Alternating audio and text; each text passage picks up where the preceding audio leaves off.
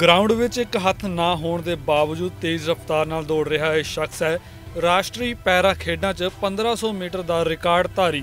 ਨਾਮ ਹੈ ਇਸ ਦਾ ਸ਼੍ਰੀਪਾਲ। 30 ਦੇ ਕਰੀਬ ਮੈਡਲ ਅਤੇ 5 ਰਾਸ਼ਟਰੀ ਅਵਾਰਡ ਜਿੱਤਣ ਵਾਲੇ ਇਸ ਸ਼ਖਸ ਦਾ ਰਾਸ਼ਟਰੀ ਰਿਕਾਰਡ ਹਾਲੇ ਤੱਕ ਕੋਈ ਨਹੀਂ ਤੋੜ ਸਕਿਆ। ਸ਼੍ਰੀਪਾਲ ਨੇ ਇਹ ਸਭ ਰਿਕਾਰਡ ਬਿਨਾਂ ਕਿਸੇ ਕੋਚ ਦੀ ਸਹਾਇਤਾ ਨਾਲ ਬਣਾਏ ਨੇ।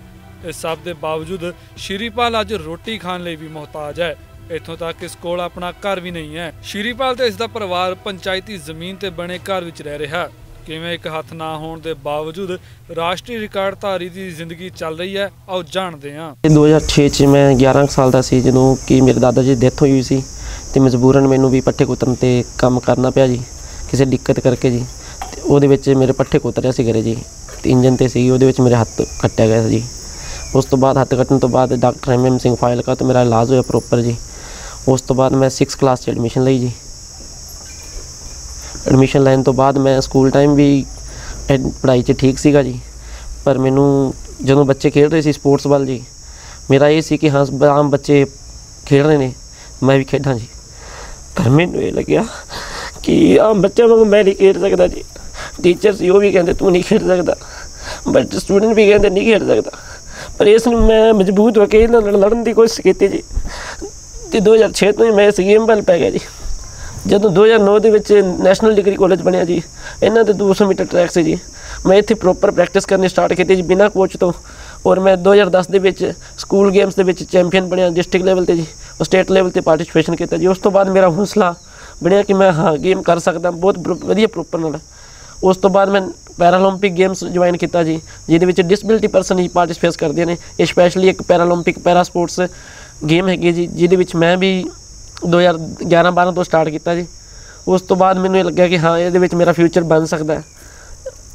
ਇਹਦੇ ਲਈ ਮੈਂ ਕੰਟੀਨਿਊ ਗੇਮ ਕਰਦਾ ਰਿਹਾ ਜੀ। 2013 ਤੋਂ ਲੈ ਕੇ 2016 17 ਤੱਕ 18 ਤੱਕ ਮੈਡਲਿਸਟ ਬਣਿਆ ਨੈਸ਼ਨਲ ਚੋਂ ਮੈਂ ਸਟੇਟ ਚੋਂ ਵੀ ਨੈਸ਼ਨਲ ਲੈਵਲ ਤੋਂ ਵੀ ਜੀ। ਬਟ ਮੈਂ ਇੰਟਰਨੈਸ਼ਨਲ ਲੈਵਲ ਤੱਕ ਪਹੁੰਚਣ ਲਈ ਮੈਂ ਬਹੁਤ ਕੋਸ਼ਿਸ਼ ਕੀਤੀ ਜੀ। ਪਰ ਪਰਿਵਾਰ ਇੰਨਾ ਕਿ ਫੈਮਿਲੀ ਬਹੁਤ ਗਰੀਬ ਹੈ ਜੀ। ਪਾਪਾ ਲੇਬਰ ਕਰਦੇ ਜੀ। ਉਹਦੇ ਕਰਕੇ ਮੈਂ ਇੰਟਰਨੈਸ਼ਨਲ ਤਾਂ ਨਹੀਂ ਖੇਡ ਸਕਿਆ ਜੀ। ਕਿਸੇ ਕਿਸੇ ਕਾਰਨ ਕਰਕੇ ਰਹਿ ਗਿਆ ਮੈਂ ਜੀ। ਅਜੇ ਵੀ ਮੈਂ ਇਹ ਮਿਹਨਤ ਕਰ ਰਿਹਾ ਕਿ ਮੈਂ ਇੰਟਰਨੈਸ਼ਨਲ ਖੇਡਾਂ ਜੀ ਇੰਡੀਆ ਨੂੰ ਰਿਪਰੈਜ਼ੈਂਟ ਕਰਾਂ ਜੀ। ਅੱਜ ਤੱਕ ਮੈਂ ਪ੍ਰਸ਼ਾਸਨ ਵੱਲੋਂ ਵੀ ਬਹੁਤ ਸਾਰੀਆਂ ਐਪਲੀਕੇਸ਼ਨਾਂ ਦੇ ਚੁੱਕਿਆ ਡੀਸੀ ਸਾਹਿਬ ਨੂੰ ਵੀ ਜੀ ਐਮਐਲਏ ਸਾਹਿਬ ਨੂੰ ਜਦੋਂ ਸਰਜੀਤ ਕੁਮਾਰ ਜਾਣੀ ਸੀ ਉਹਨਾਂ ਨੂੰ ਵੀ ਜੀ ਹੁਣ ਐਮਐਲਏ ਇਹਨਾਂ ਨੂੰ ਵੀ ਦਿੱਤੀਆਂ ਜੀ ਪਰ ਇਹਨਾਂ ਨੇ ਕਿਸੇ ਤਰ੍ਹਾਂ ਦੀ ਮੇਰੀ ਕੋਈ ਸੁਣਾਈ ਨਹੀਂ ਕੀਤੀ ਅੱਜ ਤੱਕ ਜੀ। ਕਿੰਨੇ ਕੁ ਮੈਡਲ ਜਿੱਤੇ? ਸਰ ਮੈਂ ਪੰਜ ਵਾਰੀ ਨੈਸ਼ਨਲ ਚੈਂਪੀਅਨ ਹਾਂ ਜੀ। 골ਡ ਮੈਡਲ ਹੈ ਹਾਂਜੀ ਸਰ ਨੈਸ਼ਨਲ ਰਿਕਾਰਡ ਵੀ ਮੇਰੇ ਨਾਂ ਤੇ ਹੈ ਜੀ। 1500 ਮੀਟਰ ਰਨਿੰਗ ਦਾ ਜੀ। T46 ਕੈਟਾਗਰੀ ਬੰਦੀ ਹੈ ਸਾਡੀ ਜੀ ਉਹਦੇ ਵਿੱਚ ਜੀ। ਸ਼੍ਰੀਪਾਲ ਦੀ ਮਾਂ ਦਾ ਕਹਿਣਾ ਹੈ ਕਿ ਨਾ ਸਾਡੇ ਪਰਿਵਾਰ ਦੀ ਤੇ ਨਾ ਹੀ ਸ਼੍ਰੀਪਾਲ ਦੀ ਸਹਾਇਤਾ ਸਰਕਾਰ ਵੱਲੋਂ ਹੁਣ ਤੱਕ ਕੀਤੀ ਗਈ ਹੈ।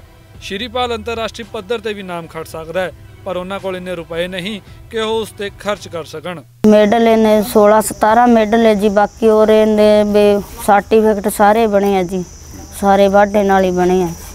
ਤੇ ਸਾਰੇ ਵੀ ਉਹ, ਜਿਹੜੀ ਇਹ ਸੀ ਆ ਵਾਧੂ ਲਿਆ ਕੇ ਸਮਾਨ ਕਰੇ ਰੱਖੀ ਬੈਠਾ ਫਿਰ ਕਰੀਏ ਕਿ ਫਿਰ ਉਹ ਅੱਗੇ ਨਾ ਕੋਈ ਨੌਕਰੀਆਂ ਦੇਵੇ ਨਾ ਉਹ ਸਰਕਾਰ ਤਾਂ ਫਿਰ ਅਸੀਂ ਕਿੱਥੋਂ ਕਰੇ ਪੈਸਾ ਲਾਈਏ? ਸਰਕਾਰ ਦੀ ਸਹਾਇਤਾ ਹੋਵੇ ਕਿਸੇ ਆਸੇ ਪਾਸੇ। ਖੇਡਣ ਜਾਣਾ ਸੀਗਾ। ਤਾਂ ਉਦੋਂ ਬਾਹਰਲੇ ਦੇਸ਼ ਨਹੀਂ ਕਰ ਲਿਆ ਗਿਆ ਜੀ ਸਾਡੇ ਕੋਲੋਂ।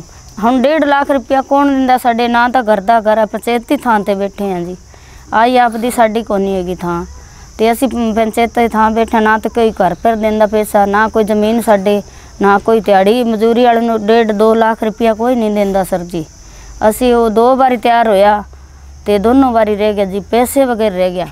ਸਰਕਾਰ ਨੇ ਕੋਈ ਹੈਲਪ ਨਹੀਂ ਕੀਤੀ ਵੀ ਚੱਲ ਇੰਨਾ ਬੱਚਾ ਅੱਗੇ ਜਾ ਰਿਹਾ ਹੈ ਤਾਂ ਅਸੀਂ ਵੀ ਕੋਈ ਹੈਲਪ ਕਰ ਦਈਏ, ਮਾੜਾ ਮੋਟਾ ਪੈਸਾ ਦੇ ਦਈਏ ਤਾਂ ਵੀ ਬੱਚਾ ਅੱਗੇ ਜਾਵੇ। ਹੁਣ ਕੋਈ ਨਹੀਂ ਸਹਾਇਤਾ ਕੀਤੀ।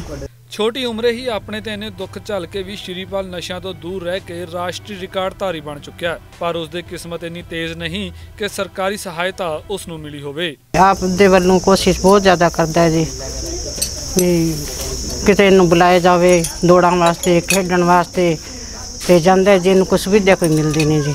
ਤੇ ਗਰੀਬ ਬੰਦੇ ਘਰੋਂ ਕਿੱਥੋਂ ਪੂਰਾ ਆ ਸਕਦੇ ਨੇ? ਦਿਹਾੜੀਦਾਰ ਬੰਦੇ ਨੇ। ਮਿਹਨਤ ਤਾਂ ਬਹੁਤ ਜ਼ਿਆਦਾ ਕਰਦਾ ਹੈ ਜੀ। ਬਹੁਤ ਜ਼ਿਆਦਾ ਮਿਹਨਤ ਕਰਦਾ ਹੈ ਜੀ। ਕਿੰਨੇ ਕੁ ਮੈਡਲ ਜਿੱਤ ਕੇ ਲਿਆ? ਮੈਡਲ ਤਾਂ ਜੀ ਵਾਧੂ ਲਿਆ ਜਿੱਤ ਗਿਆ ਮਾਨ ਕਰ ਮਹਿਸੂਸ ਤਾਂ ਕਰਦੇ ਜੀ ਇਹ ਹੱਥ ਤਾਂ ਵਿਚਾਰੇ ਦਾ ਤੁਹਾਨੂੰ ਪਤਾ ਹੀ ਹੈ ਤੇ ਕੰਮ ਇਥੋਂ ਕੋਈ ਹੁੰਦਾ ਨਹੀਂ। ਤਾਂ ਕਰਕੇ ਵੀ ਜੀ ਤਾਂ ਸਾਡੇ ਵਰਗਾ ਵੀ ਔਖਾ ਹੁੰਦਾ ਹੈ ਇਹਨੂੰ ਵੇਖ ਕੇ ਵੀ।